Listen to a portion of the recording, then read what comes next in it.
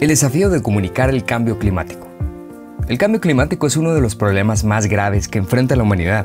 Sin embargo, existen dificultades para que tanto el público en general como los tomadores de decisiones comprendan la complejidad y alcance de este fenómeno, la importancia de actuar y cómo pueden hacerlo, ya que no siempre es difundido de la mejor manera con el objetivo de integrar a científicas y científicos climáticos y profesionales de la comunicación en la labor de informar de forma efectiva a la sociedad sobre el cambio climático, revisar la percepción que existe sobre este fenómeno, las herramientas disponibles y estrategias de comunicación innovadoras. El Centro de Formación de la Cooperación Española en la antigua Guatemala llevó a cabo del 4 al 6 de mayo de 2021 el curso de percepción del cambio climático, información científica y comunicación a la sociedad. El curso fue organizado por la Agencia Estatal de Meteorología de España del Ministerio para la Transición Ecológica y el Reto Demográfico de España, el Centro Regional de Formación de la Organización Meteorológica Mundial, la Conferencia de Directores de los Servicios Meteorológicos e Hidrológicos Iberoamericanos, la Red Iberoamericana de Oficinas de Cambio Climático y la Agencia Española de Cooperación Internacional para el Desarrollo, a través de su Centro de Formación en la Antigua Guatemala participaron alrededor de 400 profesionales de la comunicación y las ciencias climáticas de toda Iberoamérica. Los siguientes son los contenidos más relevantes del curso. ¿Por qué es importante el cambio climático? Uno de los desafíos más grandes que plantea el cambio climático es transmitir su sentido de urgencia. Desde 1880 a la actualidad, la temperatura media del planeta ha aumentado en el orden de un grado y los últimos seis años hasta el 2020 han sido los más cálidos desde que se tienen registros. Este calentamiento, que ya nadie discute, tiene consecuencias que van más allá del aumento de la temperatura. Cambia el clima del planeta, aumenta la frecuencia de fenómenos extremos, se ven modificados los patrones de las precipitaciones, sube el nivel del mar, entre otros. Pese a que en los últimos 70 millones de años se han producido grandes cambios climáticos hasta desembocar en el clima actual, que data de hace 10.000 años y ha favorecido la vida en la Tierra como la conocemos. El calentamiento global está provocando cambios drásticos en el clima del planeta en el lapso de pocas generaciones humanas. El Foro Económico Mundial incluyó al cambio climático como una de las amenazas más grandes para la humanidad, junto a las armas de destrucción masiva y las enfermedades infecciosas. Y el famoso científico Stephen Hawking mencionó la guerra nuclear, el calentamiento global y los virus producidos por manipulación genética como las causas que podrían provocar la extinción de la especie humana. ¿Por qué informar y educar sobre el cambio climático? La Convención Marco de las Naciones Unidas sobre el Cambio Climático en su artículo 6 invita a los países a promover seis elementos. Educación, capacitación, conciencia pública, incluyendo encuestas de percepción, participación pública y cooperación internacional. El artículo 12 del Acuerdo de París también insta a los países a mejorar la educación, la formación, la sensibilización, la participación del público y el acceso público a la información sobre cambio climático. Los objetivos que se persiguen son Empoderar a la ciudadanía para que apoye y sea parte de soluciones climáticas. Promover un cambio en los estilos de vida, incluyendo hábitos de producción y consumo. Construir resiliencia y aumentar la capacidad de las comunidades para adoptarse a los impactos del cambio climático.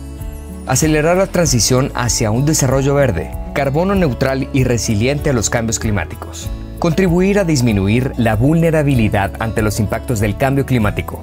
La única manera de transformar una sociedad eso lo sabemos todos, es a través de la educación, para cambiar eh, actitudes e inspirar eh, eh, a los jóvenes a la protección ambiental y al descubrimiento de la ciencia. A nivel educativo, el cambio climático resulta ser precisamente un tema transversal que puede incorporarse a múltiples disciplinas, como es el caso de las ciencias naturales y sociales, ya que además de ser un asunto mental, es también un asunto de desarrollo social. Sin embargo, al ser un fenómeno tan complejo, presenta una serie de desafíos para su abordaje a nivel de comunicación. 1. Lograr que la gente vincule los impactos asociados que ya estamos viviendo al problema del cambio climático, de modo que se perciba el sentido de urgencia y se deje de plantear como un problema futuro. Hay que entender que somos la primera generación en sufrir esta crisis y probablemente la última que pueda frenarla.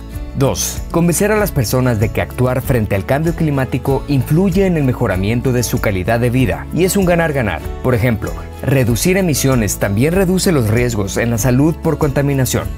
3. Explicar que el calentamiento no se da por igual en todo el planeta. Por ejemplo, afecta en mayor medida a latitudes altas que a medias y bajas, y de forma muy diferente en ecosistemas costeros que de montaña. El Ártico se está calentando más rápidamente que el resto del planeta, con la consecuencia pérdida de hielo y elevación del nivel del mar y otros efectos más complejos en el clima a latitudes medias. Lo que pasa en el Ártico no se queda en el Ártico. Es un lema de los científicos expertos en esta materia.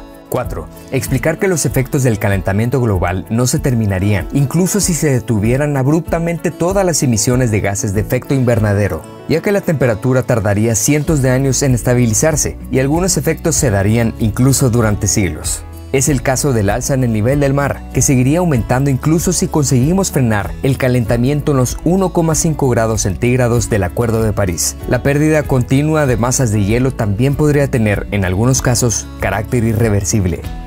Por eso, cuanto antes actuemos, menor será el problema que traslademos a las generaciones futuras y más posibilidades hay de evitar el colapso de nuestra civilización. 5. Explicar las incertidumbres a la población y no negarlas.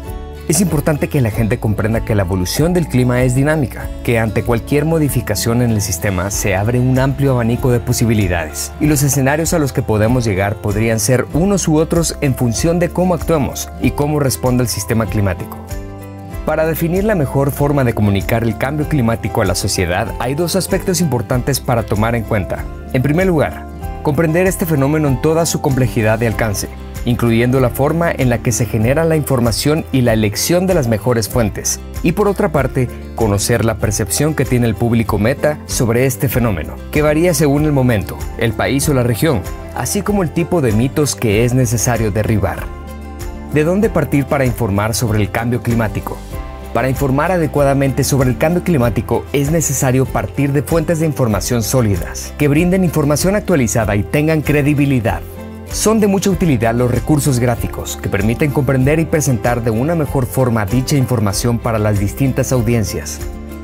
La base de cualquier información acerca del cambio climático deben ser los informes del panel intergubernamental de expertos sobre el cambio climático, que con el aporte de numerosos autores y revisores a nivel global, evalúan de forma objetiva y exhaustiva la información científica existente, la ponen en su contexto y a disposición de las negociaciones climáticas y los tomadores de decisiones.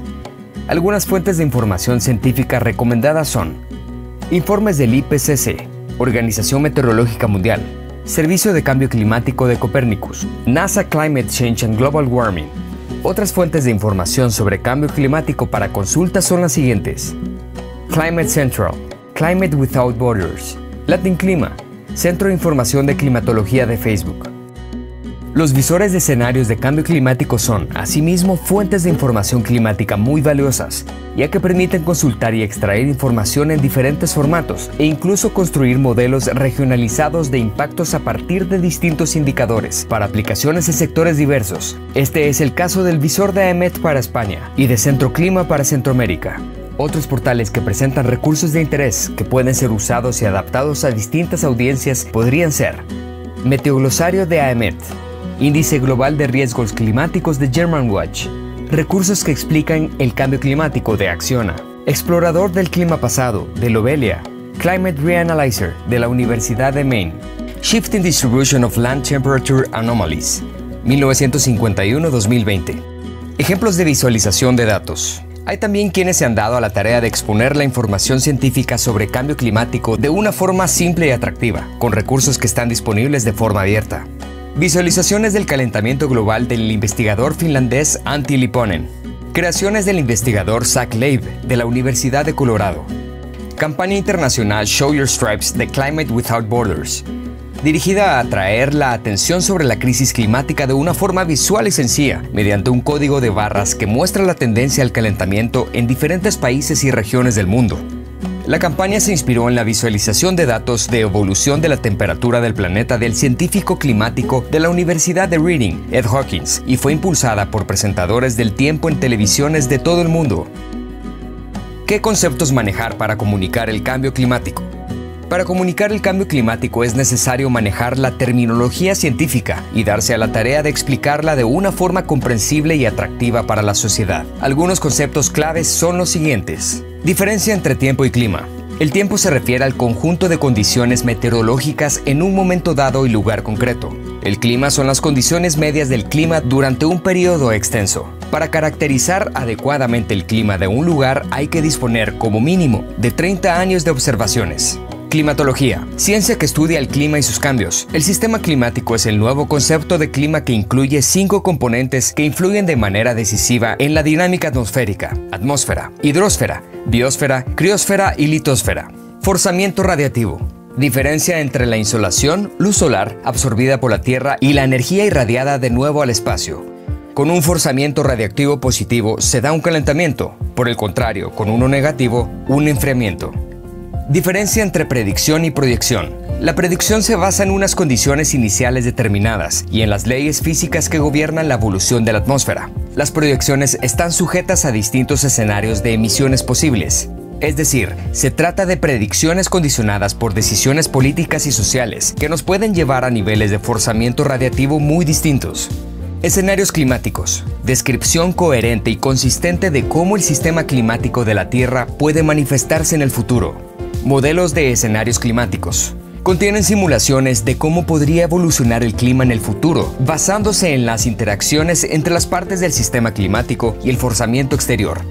Se requieren muchas simulaciones con diferentes escenarios de emisión, los cuales contienen diferentes grados de incertidumbre sobre lo que podría suceder. Tipos de modelos climáticos. Son globales y regionales. Los globales reproducen las tendencias y patrones a nivel planetario. Los regionales presentan simulaciones del clima en una zona determinada, mediante la utilización de dos técnicas, las dinámicas, que mejoran la resolución de los escenarios globales mediante modelos regionales anidados. Y los métodos estadísticos, que intentan establecer relaciones entre variables de los modelos globales y puntos observacionales para bajar a una escala más pequeña de 50 kilómetros o menos. Diferencia entre detección y atribución. La detección es el cambio detectado en el clima o un sistema afectado por el clima a partir de un proceso de demostración estadística, sin indicar las razones del cambio. La atribución es el cambio atribuido a partir de un proceso de investigación de las contribuciones de varios factores, combinando análisis estadístico y observación física, y es imposible sin contar con un modelo. También hay que saber interpretar adecuadamente los datos que arrojan los modelos para comunicarlos. Por ejemplo, tomar en cuenta que una sola simulación no da idea de todas las incertidumbres que puedan existir, por lo que hay que analizar toda la información disponible que la comparación de un año con otro en términos de clima no tiene sentido, sino el promedio de un conjunto de años con otro conjunto, y tomar en cuenta que las proyecciones siempre presentan sesgos y errores. La sociedad tiene que entender que el clima no es solo el comportamiento atmosférico, es cómo ese cambio que ocurre en la atmósfera se está transmitiendo al resto de elementos o subsistemas del sistema climático, y entender que el cambio climático es la respuesta del sistema climático a nuestro modo de vida, afirma José Miguel Viñez Rubio, divulgador y consultor especialista en meteorología de España. Es importante continuar también con el proceso de capacitación a profesionales que trabajan en áreas del cambio climático para que aborden de forma efectiva los distintos aspectos vinculados a este fenómeno y su difusión a la sociedad. Este es el objetivo de otros cursos sobre el tema desarrollados en el Centro de Formación de la Cooperación Española en Antigua Guatemala, como el de provisión de servicios meteorológicos y climáticos para la reducción de riesgos de desastres y adaptación al cambio climático que capacitó a técnicos a cargo de la predicción y vigilancia de los fenómenos hidrometeorológicos en Iberoamérica, para difundir de manera adecuada la información generada a los distintos sectores socioeconómicos afectados. Cómo comunicar el cambio climático de una forma efectiva. Contar con buena información y saberla interpretar es solo el primer paso. Comunicar el cambio climático requiere, además de investigación y una correcta interpretación de los datos, una buena colaboración entre expertos en temas climáticos, comunicadores, especialistas en mercadeo y expertos en ciencias sociales, hay que identificar los temas a comunicar y la audiencia, y a partir de eso definir las estrategias, mensajes, formatos y canales más efectivos. Los medios de comunicación siguen siendo un canal valioso para difundir mensajes, pero también es importante considerar que las personas en redes sociales actúan como comunicadores también. Para Adriana Valenzuela Jiménez, experta en educación y comunicación del cambio climático de Colombia, si queremos movilizar la acción climática, uno de los puntos claves es comunicar mediante una narrativa positiva. No hay una sola fórmula para todo, pero debemos tener mensajes orientados a la acción y diseñados de acuerdo con cada una de las audiencias y los contextos culturales y locales. Los siguientes son algunos consejos de expertos para la efectividad de los mensajes. Involucrar a los presentadores del tiempo para que hablen también sobre el cambio climático. Emplear una narrativa positiva, no catastrofista. Presentar el desafío climático como una oportunidad, ya que la ecoansiedad genera inacción hablar de crisis climática o de emergencia climática según el contexto, ya que la emergencia exige una acción inmediata y la crisis es más sostenida en el tiempo. Mensajes orientados a la acción según la audiencia, necesidades, cultura y condiciones locales. Mensajes sencillos, relacionados con la vida cotidiana, que presenten ejemplos de mitigación del problema y adaptación al cambio. Mensajes que ilustren cómo las acciones individuales contribuyen a enfrentar el cambio climático a nivel nacional y global no solo concienciar, sino también generar emociones. Traducir materiales a idiomas locales, traducir el lenguaje científico a popular y traducir lo que sucede a nivel global a nivel local, con ejemplos que la gente pueda entender. Incluir la perspectiva de género. Utilizar información gráfica, que es fundamental para llegar a una parte amplia de la población. Dedicar tiempo a definir cómo presentar los datos de una forma clara y creativa, como es el caso de infografías. Buscar líderes con credibilidad que puedan ser referentes para la difusión del mensaje. Explicar con historias de éxito que sensibilicen, inspiren y motiven a actuar.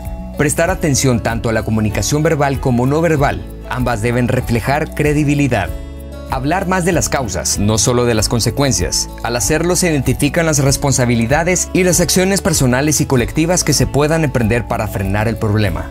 Si hay que hablar de impactos y riesgos, equilibrar con soluciones y posibilidades de acción. Combinar todos los medios de comunicación que sea posible para un mayor impacto. Considerar hábitos de conducta, percepciones, valores y emociones frente al cambio climático, ya que todo esto influye en cómo las diferentes audiencias reciben y procesan la información. El humor tiene poder, en especial en las redes sociales. El cambio climático no solo es un problema, sino también una oportunidad de transición hacia un mundo nuevo y mejor, señala Delia Guterres Rubio, de la Agencia Estatal de Meteorología del Ministerio para la Transición Ecológica y el Reto Demográfico de España. Esta forma de presentar este fenómeno es clave para la efectividad del mensaje de llamada a la acción que se busca transmitir. Y este enfoque de comunicación ayuda a Mejorar el diálogo entre gobiernos, sectores y partes interesadas. Intercambiar buenas prácticas y lecciones aprendidas. Mejorar la coordinación, la cooperación y el establecimiento de alianzas. Compartir soluciones innovadoras. Inspirar a los ciudadanos para la acción climática. Fomentar alianzas para soluciones innovadoras en acción climática. ¿Cómo los medios de comunicación pueden involucrarse? Los medios de comunicación continúan siendo de gran importancia en la difusión de la información sobre la crisis climática como un puente ante la opinión pública. Y una forma de involucrarlos es mediante las acciones propuestas por el Decálogo de Recomendaciones para informar sobre el cambio climático, de la Fundación Ecología y Desarrollo, y el Grupo de Investigación Mediación Dialéctica de la Comunicación Social de la Universidad Complutense, el cual ha sido firmado por numerosos medios en España. El Decálogo propone promover la frecuencia y la continuidad de información sobre cambio climático de calidad, Incidir no solo en los impactos del cambio climático, sino también en las causas y las soluciones. Propiciar un enfoque del problema desde el punto de vista de la justicia climática. Conectar el fenómeno del cambio climático con realidades cercanas en el espacio y tiempo para demostrar que el cambio climático no es futuro, sino presente. Difundir las iniciativas emprendidas o lideradas por la ciudadanía. Defender un periodismo crítico e independiente. Divulgar la investigación científica en torno al cambio climático popularizar la terminología específica necesaria para la comprensión del fenómeno, conectar el cambio climático con los fenómenos meteorológicos extremos, contar con redacciones especializadas en la materia. Los diferentes medios de comunicación tienen ventajas que también hay que tomar en cuenta. Prensa escrita. No solo lo escrito tiene valor, sino también la imagen radio y podcasts. Su cercanía genera confianza, mantienen la atención del oyente y por su gran penetración e inmediatez son el medio ideal para reaccionar de la mejor manera ante fenómenos extremos. Televisión. Tiene gran impacto aún en la era de Internet. Es importante considerar que el Internet es la fuente primaria de información solamente para el 30% de la población. Redes sociales, importantes como complemento a los medios tradicionales y especialmente para ciertos sectores de la sociedad menos interesados en los medios tradicionales. ¿Quién debe comunicar el cambio climático? Tanto científicos como comunicadores pueden hacerlo trabajando de forma integrada. Los periodistas y comunicadores tienen habilidades de comunicación y conocimiento sobre las técnicas y formatos más efectivos, pero requieren del conocimiento científico. Y los científicos dominan la información y son reconocidos en su campo, pero les falta habilidades y técnicas de comunicación. Ambos pueden complementarse y aprovechar las ventajas de cada uno para generar credibilidad. En síntesis, para que la comunicación del cambio climático sea efectiva, es clave que la sociedad comprenda la complejidad del cambio climático, su sentido de urgencia y movilizar la acción hacia la búsqueda de soluciones y el cumplimiento de las metas del Acuerdo de París. Conocer qué conocen, piensan, creen, hacen y sienten las distintas audiencias frente al cambio climático y a las propuestas de mitigación y adaptación. El papel de la ciencia y también la forma de darla a conocer y conectarla con la vida de las personas. La combinación de múltiples canales con sus respectivas ventajas comparativas para lograr un mayor impacto.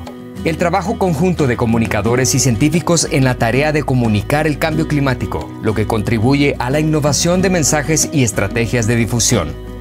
El cambio climático no es un problema, sino una oportunidad de un mundo mejor.